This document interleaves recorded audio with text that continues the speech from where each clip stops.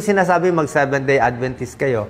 Ang ibig ko lang sabihin, merong mga pare-parehong pattern eh. Same group eh. Okay po, may bago akong ituturo sa inyo base dito sa librong to, Living to be 100 years old.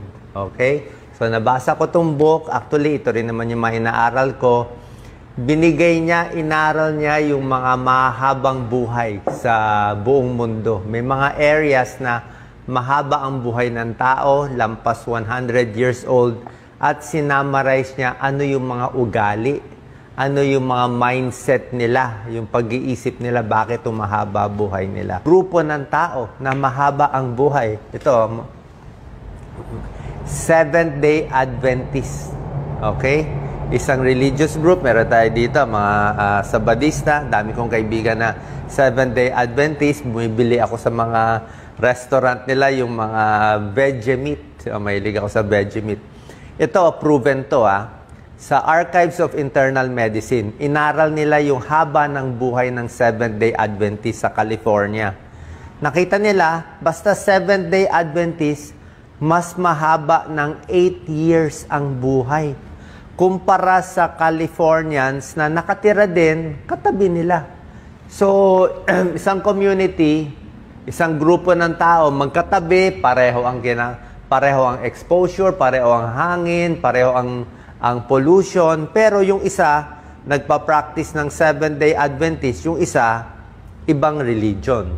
Bakit mas mahaba buhay ng mga Seventh-day Adventist ng 8 years? Okay? So, nagtataka itong sumulat ng libro. Tiningnan nila. So, merong, meron silang one day a week na rest, di ba, yung mga sabadista? One day in a week, bawal magtrabaho. Puro family lang, camaraderie, nature, no work one day in a week. Tapos lagi nagdadasal. Tapos yung diet nila, di ba? Halos vegetarian diet to. Puro tokwa, veggie meat, walang karne. At mga payat sila, low body weight, konti lang kumain. Okay, konti kumain.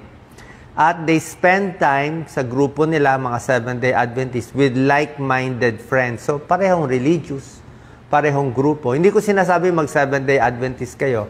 Ang ibig ko lang sabihin, merong mga pare-parehong pattern eh. Same group eh. Kung nasa Okinawa man or Sardinia man o dito mga Seventh-day Adventist, usually same friends na walang kaaway. Mga Seventh-day Adventist mahilig din mag-volunteer. Okay? Tumutulong sa community. May purpose mabuhay. Vegetarian diet.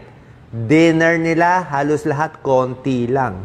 At lahat itong grupong ng mga tao to, ha, no smoking, no alcohol. Ha.